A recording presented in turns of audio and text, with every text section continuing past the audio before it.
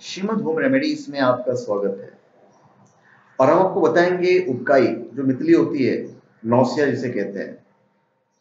मैं उसके बारे में आपको बताऊँगा, उसके लक्षण के बारे में, उसका कारण, एक नॉर्मल उपचार और घरेलू उपचार। इतनी चीज़ें हम आपको उबकाई के बारे में बताएँगे, मितली के बारे में, उल्टी आना। उबकाई आना, उल्टी होने का एहसास मात्र है। कुछ लोगों को ज़्यादा मितली आती है। विशेषकर यात्रा के समय कुछ लोगों को उबकाई की समस्या होती है। इसे मोशन सिकनेस भी कहते हैं। यह गाड़ी से यात्रा के दौरान या नाव से यात्रा के दौरान, नाव से यात्रा के दौरान को सी सिकनेस कहते हैं। इन सब जगहों पर यह विशेष रूप से आती है। अभी उबकाई आने के जो लक्षण है, वो मैं आपको बताता हूँ। आपके दिल की जो धड़कन है, वो बढ़ जाती है। पसीना आने लगता है। आपको ऐसा एहसास होगा कि जैसे आपके पेट में कुछ गड़बड़ी हो गई।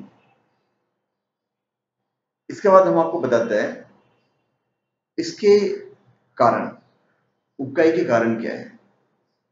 यात्रा के दौरान मितली आना बेहद सामान्य सी बात है, लेकिन कई वजहों पे, कई वजहों से अगर ये लगातार आए तो ये एक समस्या बन जाती है। मितली जिन कारणों से होती है मैं आपको बता देता हूँ। एंटीबायोटिक दवाइयों के कारण अक्सर पेट में गड़बड़ी होती है। जो मितली उल्टी का कारण बन जाता है। फिर कुछ लोगों को यात्रा के दौरान मितली उल्टी का अनुभव होता है। इसके लिए इसकी दवाएँ आधे घंटे पूर्व लेकर ही चले। एक दवा एवोमेन करके आता है, आप उसको ले भी सकते हैं। फिर भी आप अपने केमिस्ट से या फिर उससे पूछ लीजिएगा अपने डॉक्टर से। फिर बदहजमी से होती है, अमलता, शराब यदि अधिक पीने से होती है। उसके बाद गर्भावस्था में, पहले तिमाही में मितली या उल्टी की समस्या होती है। यह अपने आप रुक जाती है। मितली और उल्टी की समस्या गर्भधारण के समय शरीर में हार्मोनल बदलाव के कारण होता है। शरीर में विटामिन बी सिक्स की कमी से भी गर्भवती महिलाओं को उल्टी होने की समस्या हो जाती है। फिर फ़ूड एलर्जी और फ़ूड असहिष्णुता होती है। फ़ूड इंटॉलरेंस जहाँ पे करेंगे तो वहाँ भी उल्टी होने की फुल संभावना रहती है। फिर माइग्रेन में सिर के भीतर किसी प्रकार के दबाव से सेरिब्रोस्पाइनल फ्लूड्स प्रभावित होता है, जिसके कारण मितली या उल्टी की समस्या उत्पन्न होती है। फिर पिताशय मतलब गॉड ब्रेडर की हम बात कर रहे हैं। पिताशय और पाच्य ग्रंथि में सूजन होने पर पेट के ऊपरी भाग में दर्द होता है और मितली और उल्टी होने का एहसास होता है और हो भी सकता है। कभी कभी एक्सीडेंट या गंदी बदबू के कारण मितली आ जाती है। फिर तनाव भय और बेचैनी के कारण शरीर की क्रिया में असंतुलन पैदा हो जाता है, जो पेट में गड़बड़ी का कारण बन जाता है, जिसके फलस्वरूप मितली उल्टी, दस्त, कब्ज, इस तरह की समस्या होना शुरू हो जाता है। अभी मितली आने के जो सामान्य उपचार हैं, वो मैं आपको बता देता हूँ। यात्रा के दौरान मितली से बचने का सबसे तरीका, सबसे अच्छा तरीका यह है कि आप थोड़ा थोड़ा खाना खाएँ। और इसके अलावा भी कुछ चीज़ें बता दे रहा हूँ जो उपकाई की समस्या से आपको समा मतलब ठीक कर सकता है। गर्भवती महिलाओं को जिन महक वाली चीज़ों से मितली हो रही है, उनको ना खाएँ। फिर आप थोड़े थोड़े मात्रा में खाएँ। दो मील के बीच में ठंडा पेय और जल पिए। उल्टी करने का प्रयास करें। उल्टी करने पर आराम मिलेगा। आप जहाँ भी हो ताजी हवा आनी चाहिए। ढीला ढाला कपड़ा पहने। ज़रूरत से ज़्यादा पानी नहीं पीना चाहिए। अगर स्थिति गंभीर है तो आपको तुरंत डॉक्टर के पास जाना चाहिए। कभी भी बीमारी में किसी भी तरह की लापरवाही नहीं बरतनी चाहिए।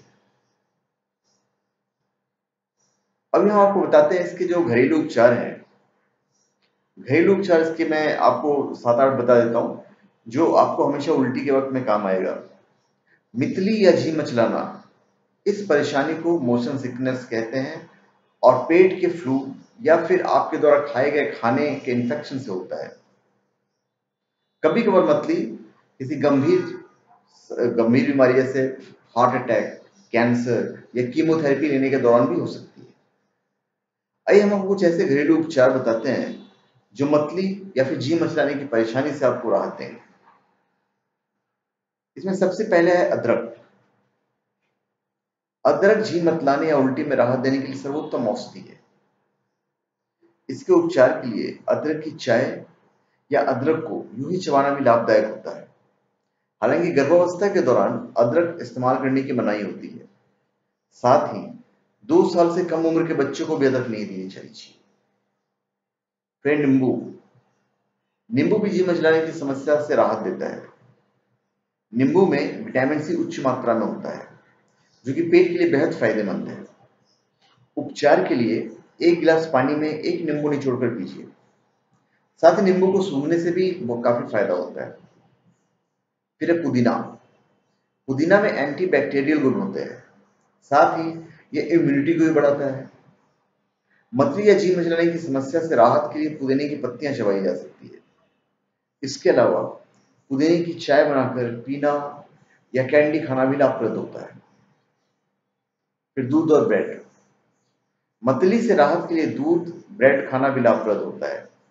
उपचार के लिए ब्रेड पर बिना नमक वाला मक्खन लगाइए। एक गिलास गर्म दूध में इस ब्रेड को तोड़कर डालिए और फिर धीरे धीरे खाइए। लेकिन पेट में फ्लू या गैस हो तो दूध नहीं लें। यह नुकसान करता है। फिर शहद। शहद कई बीमारियों की उच्च दवा है।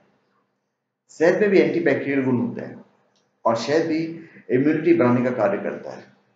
उपचार के लिए एक गिलास पानी में सेब का सिरका मिलाकर उसमें थोड़ा शहद डालकर पीने से जी मचलाने की समस्या से आपको राहत मिल जाएगी। फिर है चावल का पानी। अथपके चावल से निकले मांड को पीने से मतली से बहुत राहत मिलता है। इस मांड को हल्का गुनगुना ही पीना चाहिए। फिर है जीरा। एक गिलास छाछ या दही में जीरा को भून कर डाल दीजिए। इस मिश्रण को पी लें। इससे जी मिचलाने की समस्या ठीक हो जाती है। फिर है बेकिंग सोडा। गर्म पानी में डेढ़ चम्मच बेकिंग सोडा डालकर पीने से मतली में बहुत राहत मिलती है। पर गर्भवती महिलाओं को यह उपचार नहीं करना चाहिए। फिर ऑनियन। एक ऑनियन का जूस निकालकर उसमें एक चम्मच अदरक को कद्दूकस करके मिलाइए। प्याज में एंटीबैक्टीरियल गुण होते हैं, जिसके कारण ये पेट के लिए बहुत फ़ायदेमंद है। इसमें मतली को ठीक करने के प्राकृतिक गुण होते हैं। और आखिरी दसवां है, ठंडी सिकाई। इसके लिए कपड़े को या छोटी तौलिया को एकदम ठंडे पानी या बर्फ़ के पानी में कुछ घंटों के लिए रख दीजिए। इसके बाद इस तौलिए को प्रभावित व्यक्ति के गर्दन पर लपेटें। यदि व्यक्ति लेटा हो तो गर्दन के पीछे रख दें और यदि बैठा हो तो गर्दन के सामने। ऐसा करने से भी उल्टी और जी में चलाने की समस्या से आपको बहुत राहत मिलेगी। धन्यवाद। आप हमारे चैनल को सब्सक्राइब करें और अपने कमेंट दीजिए। धन्यवाद।